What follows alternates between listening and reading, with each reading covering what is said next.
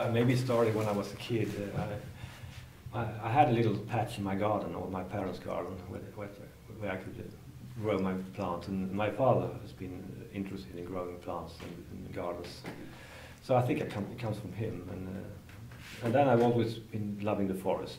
So uh, I spent a lot of time in, my, in the forest when I was a kid. And now I work with forest soil mainly. I mean, I'm interested in all types of soil, but uh, the forest is dear to me, and uh, I think that's where it started. I mean, so few people know about uh, symbiosis and associations between organisms, and that's so common in nature, and that's so important for for uh, how, living organisms uh, thrive, and especially this uh, fungal association with plants. I mean, the, the fungus extend the root system out in the soil, take up nutrients, and you can you can see it clearly in the forest by just digging in. And I love the smell of the fungus and, and the smell of the soil. So, so, so, so to, to teach about that, I think. I mean, I'm this is important for nutrient cycling and for many aspects. But lately, I've been more interested in, in trying to to describe this to, to people outside the scientific community. So that's why I'm so happy to be here, because this is not the normal audience I have.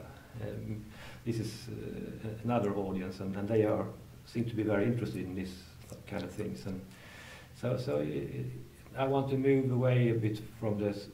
Well, not away maybe, but I want to expand into a, wider community of people and uh, tell them about my my research because uh, yeah, there is a lot of things I can tell you about my research, of course, but uh, uh, this symbiotic association is what, is what really fascinates me.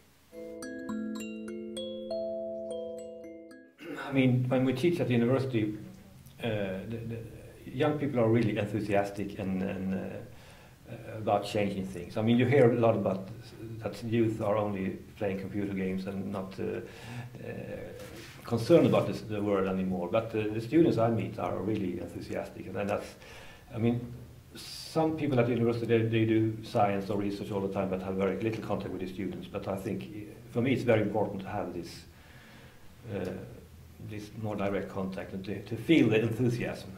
Uh, and that gives gives me hope for the future. But lately I've also been interested in, in trying to reach children because um, when I wrote this book, this popular scientific book about soil, uh, I want to tell stories to people, but, but, I want now I want to, to go to younger people, I to, to the kids. So, so that's what I'm working on right now because that will be even more rewarding, I think, if, if, if I can make kids interested in, in this symbio symbiosis in nature. Maybe sow some seeds there because uh, that's, uh, that's, that would be nice. Yeah, it's always difficult. I, I was frustrated a lot when I was studying to, how to find a job. Uh, and uh, I mean, a, a, scientific career is very hard. I, I, want to advise them to, to, to go into science because uh, you, it's probably better to go out in society.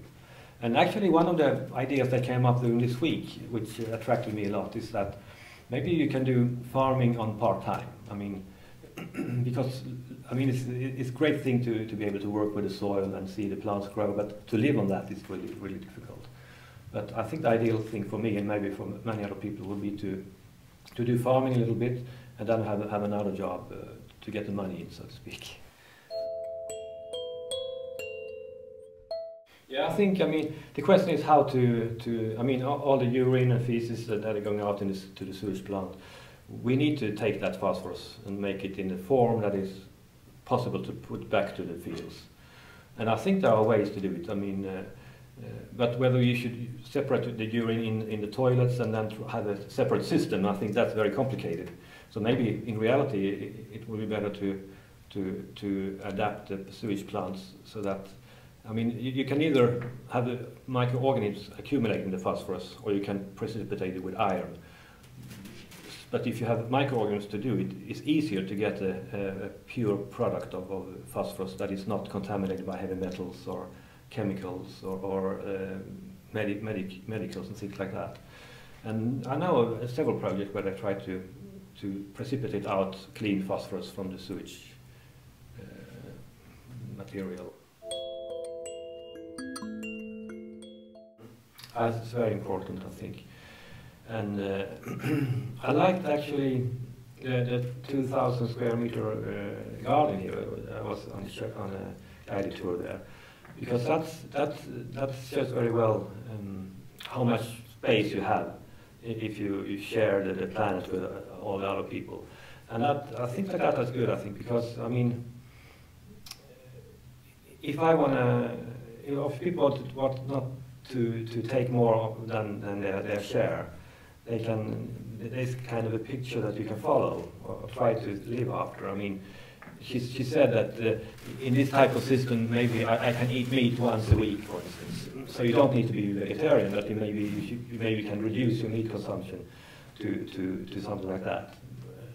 And uh, that's, that makes sense. I mean, if, if this is ideal, I, I don't want to, I mean, if you can spread that message to people, you, can maybe adapt your own life to follow something that doesn't take too much from the. I mean, it, it's in the, in the concept that makes sense. So, so I, I think for myself, I eat too much meat, and uh, I don't live the, the, way I should do because uh, it's difficult to do it, and for all people.